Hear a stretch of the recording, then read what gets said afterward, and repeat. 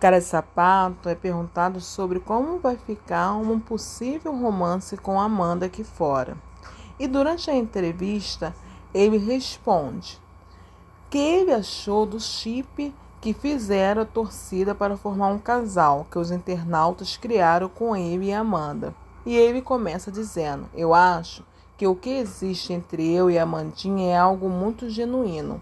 É a mesma pessoa com quem eu criei um afeto, um carinho e um respeito muito grande. É algo muito mais de alma.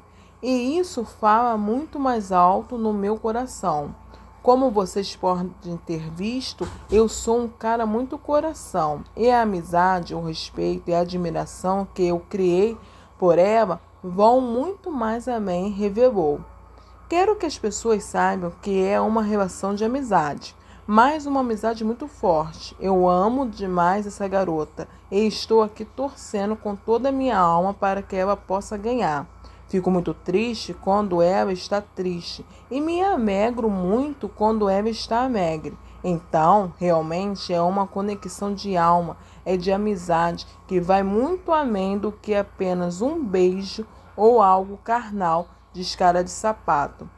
Durante o programa, Amanda esteve sempre ao lado de cara de sapato desde o primeiro dia em diversos momentos. O ajudou em suas crises de ansiedade e pânico. Para o lutador, o apoio da colega de confinamento foi de extrema importância para permanecer no programa.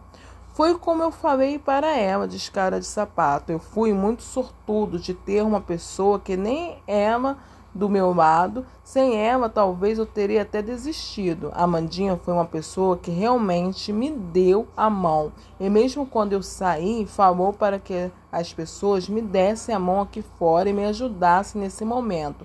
Como eu já disse, tenho mil motivos para elogiar a Mandinha. Enaltecer seu caráter é a pessoa que ela é. Inclusive, já falei com a dona Regiane, é a mãe dela, agradecendo pela filha incrível que ela criou e por todo o suporte que ela me deu lá dentro e aqui fora também.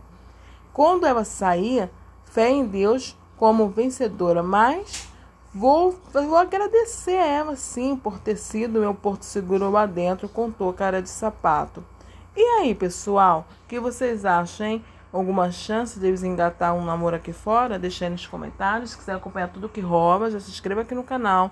E já deixa seu like. Até o próximo vídeo, pessoal.